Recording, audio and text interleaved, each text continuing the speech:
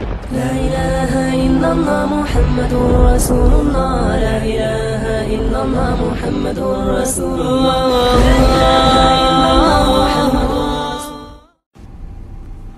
تو اب پچھلے دو درس میں تو ہم نے یہ پڑھ لیا کہ حجر اسود جنت کا پتھر ہے اور مقام ابراہیم بھی جنت کا پتھر ہے۔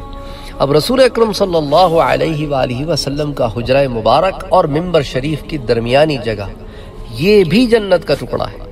اب اس پر جو حدیث آتی ہے وہ بخاری شریف کی حدیث ہے۔ درجہ صحیح میں سب سے اعلیٰ و عرفہ جو درجہ ہوتا ہے نا، وہ ان اس اس درجہ صحیح کی حدیث میں سے ہے۔ تو حضرت ابو حریرہ رضی اللہ تعالی اس کے عنہ اس کے راوی ہیں۔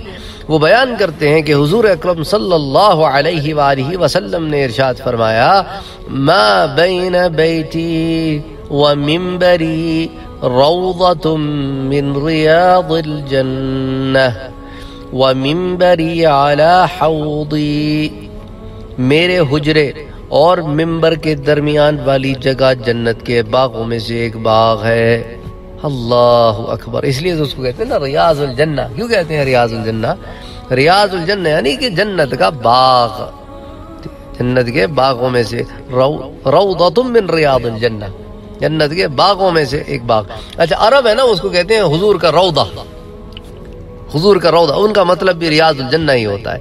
بہرحال وَمِنْبَرِ عَلَى حَوْضِي اور میرا ممبر میرے حوض پر واقع ہے۔ یعنی حوض کوثر پر۔ اچھا حوض کوثر الگ چیز ہے اور نہر کوثر الگ چیز ہے۔ ٹھیک ہے؟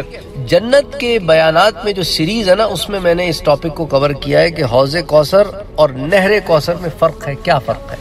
بہرحال تو یہاں پر ہم نے یہ بات سمجھ لی۔ وما علینا الا البلاغ۔